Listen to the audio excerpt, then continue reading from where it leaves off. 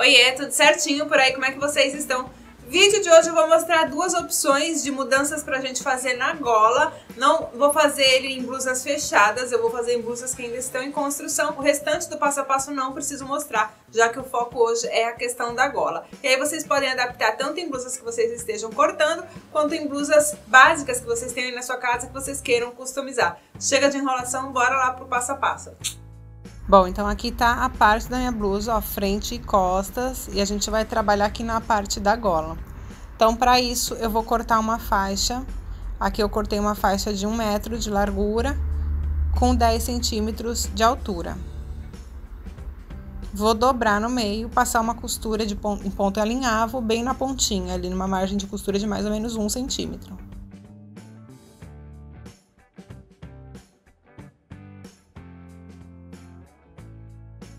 E agora a gente vai franzir essa faixa inteirinha até dar a medida certa da gola.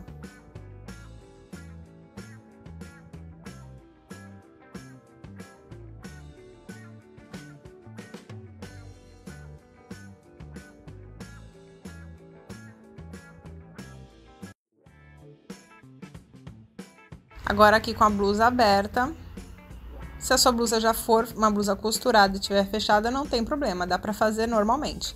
E aqui eu posicionei por cima para vocês verem, mas a gente vai, vai costurar ela do lado de dentro, tá? Colocar ela costurando primeiro do lado avesso, depois vocês vão entender o porquê. Aqui, depois que distribuir bem, você já pode fechar as pontas e dar esse acabamento. Eu optei por fazer antes de costurar, depois que eu franzi. Franzi certinho, achei a medida, eu, aí eu optei por fechar. Agora a gente passa a costura. Ó, agora aqui ela tá do avesso, né? Então, agora o que, que a gente vai fazer?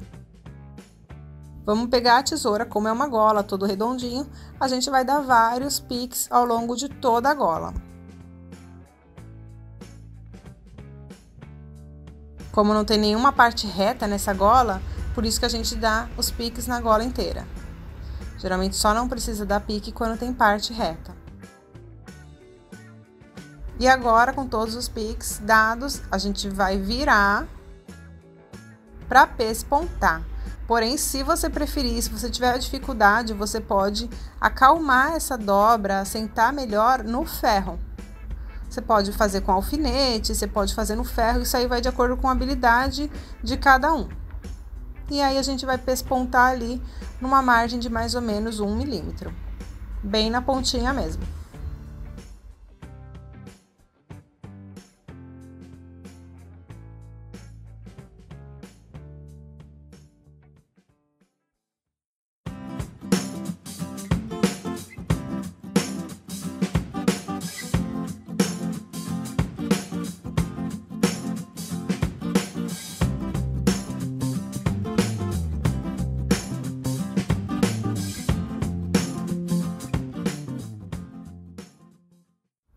Tá prontinha essa gola e olha só que charme que deu e você pode fazer com qualquer peça. Agora eu vou para uma outra simulação de gola. Aqui a blusa ainda não estava montada. Então dobrei no meio a frente. Agora com retalho de tecido cortei um retângulo, dobro e vou posicionar ali a dobra também em cima.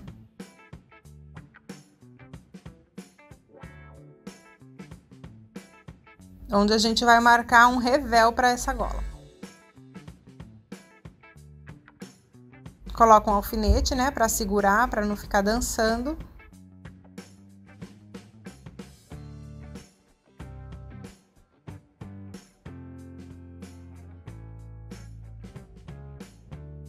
E agora eu vou cortar o mesmo formato da gola.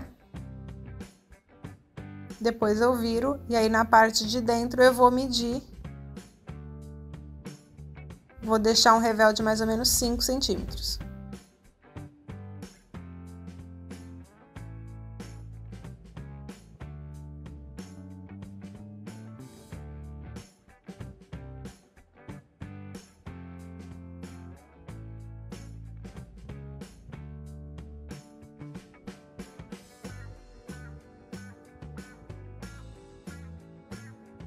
Agora a gente abre posiciona a golinha ali em cima, ó, direito com direito, coloca os alfinetes e em vez de passar uma costura simples, a gente vai desenhar como se fossem ondas. Ó, inicialmente eu ia fazer manual, mas depois optei por pegar um objeto redondo para mostrar para vocês. A gente marca só a pontinha ali e a gente faz aquele efeito nuvem.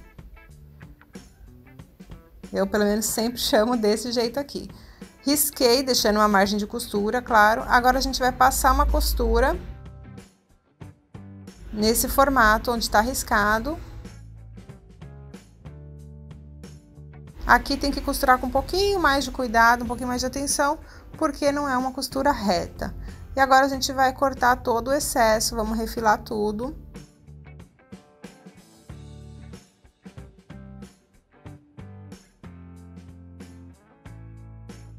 Depois dá os piques aqui bem na pontinha, que é para ficar melhor na hora de virar. E agora sim a parte mais delicada a gente vira com cuidado.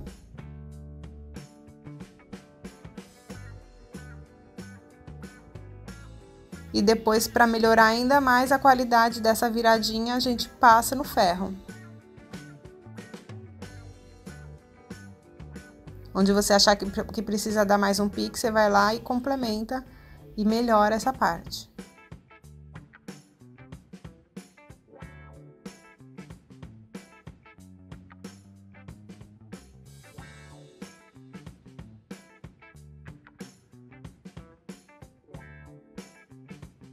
ferro sempre ajuda.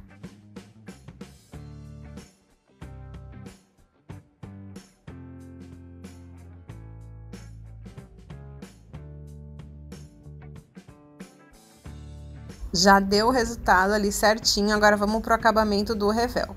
Aqui eu vou optar por fazer uma dobrinha bem delicada de meio centímetro e depois passar também, vou passar no ferro para assentar e aí depois passo a costura do lado, do lado da frente, né, para pegar bem certinho. E olha só o acabamento impecável que ficou.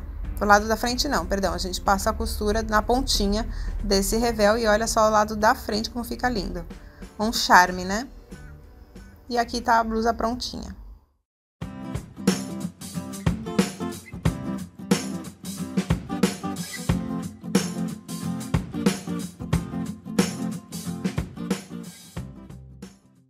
E aí, o que, que vocês acharam? Eu confesso que eu amei. Esse daqui, vocês sabem, eu já tinha, eu já fiz algumas vezes em barra, né? Em barra de saia, de calça, de calça não, em barra de bermuda, de shorts. E assim, gola eu nunca tinha feito e amei demais, achei que ficou super delicado. E assim como a outra também. E espero de coração que vocês tenham gostado também. Gostando, já sabe como é que funciona. Dá um cutucãozinho aqui embaixo para ajudar na divulgação. Se inscreve no canal se está chegando agora por aqui. E fique sempre, sempre com a gente. Beijo grande e até o próximo.